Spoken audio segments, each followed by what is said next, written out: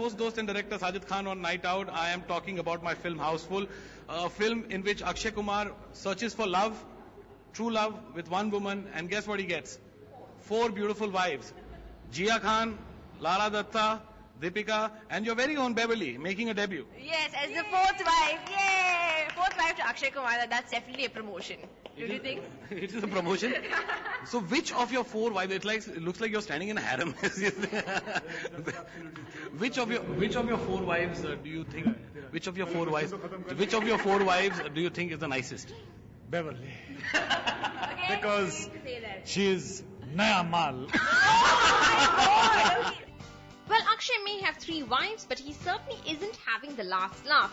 On the sets of Housefull, Akshay quickly got used to providing comic relief, even if a lot of the time it was without him knowing it. This is what both of us, the director and the actor, do behind the other actor's back when he's not there. You're Akshay. Oh, sorry, sorry, वो actually आप सोच रहे होंगे कि कैसा दोस्त है बिन बताया गया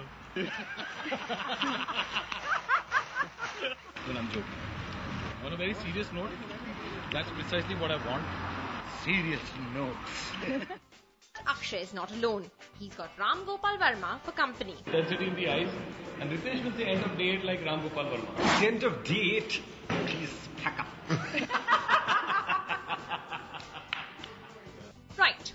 Surprised if Riteish isn't working in Ramu's next. But besides the madness and the laughter, it was yesterday villain Ranjit that bonded the cast and crew completely. The Brilliant characters he performed. you have to do You that. try, you. You have to do See, see, I'll, I'll do it one See, second. see, I'll see, I'll do it. him.